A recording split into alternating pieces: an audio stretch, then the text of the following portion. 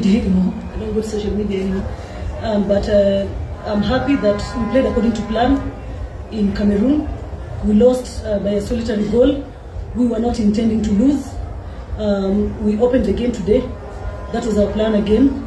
And we got a goal. We could even get more goals. But we thank God that we won, uh, even though through penalties.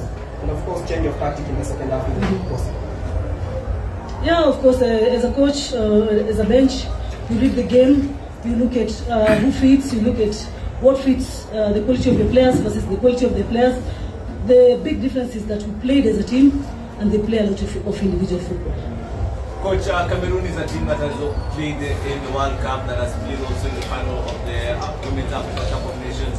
What gave you that belief that, that Kenya stood a chance against a powerhouse when it comes to women's football? Um, I am an instructor, a coach instructor, and uh, for a long time I have believed that um, the more we learn, the more we get uh, education on football, the more we can do better.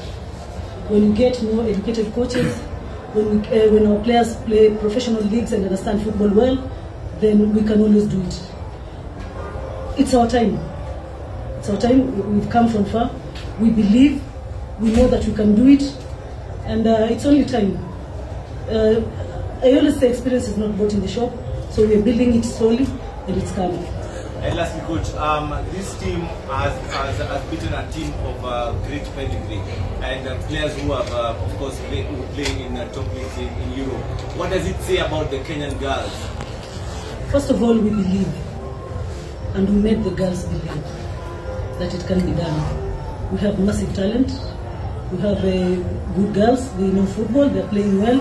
They're in good teams. Uh, those who are playing uh, outside Kenya. We also have a lot of talent here in Kenya, and uh, there's no difference. Just let the girls know that uh, they're playing against girls.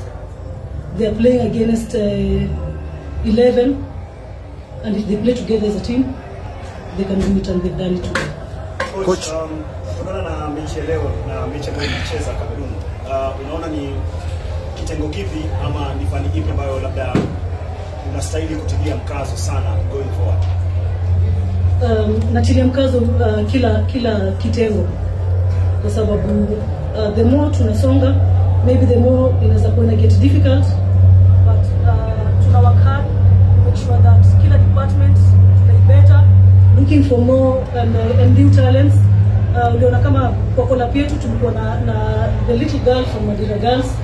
Uh, tulikuwa tumeita mwingine pia from Archbishop Jenga but alikuwa na injury at that time so uh, every time tunaangalia new talent uh, need ya, ya, ya football need ya competition and uh, we see what to bring in so si sema ati kuna kuna mali inaweza wakia over, over, another, over another ile iko sawa tuna beta ile iko sawa we work on it Coach, I think gonna two, two questions. Yes. One of them I'll go down the question I asked you on the very first day. Mm -hmm. It's your first assignment as the national champion. Yes. You've been here as an assistant. Uh, you've done uh, you know, different coaching uh, capacities. But you've come in first attempt and you've taken the team to the Women's uh, Cup of Nations. What does it mean for you? What does it mean for the girls? Secondly, sorry, the voice is going. Oh, can I answer the first question Okay, yeah, then I ask the second. How much? um, the first assignment. The only difference, um, and maybe I said it again, is the tag. The tag today is international match, but every day I stand on the touchline and push teams. I push boys teams, I push girls teams. So the only difference is the tag. National is big because uh, I represent the country. This uh, means a lot to the girls. The first time they had that uh, they have a female coach, we asked them. The first question was, "Do you believe we can do it?" And they said, "Yes, we can do it." So if they believed, if those who entrusted us with the job believe, then we have no obligation but to give to but to give back. The second question, yesterday, during the, the uh, pre-match press, press conference, you and the captain called on the fans to turn out in large numbers. You told them to ask for offs from their workplaces. Today, we've seen the, the attendance at the stadium, it was massive.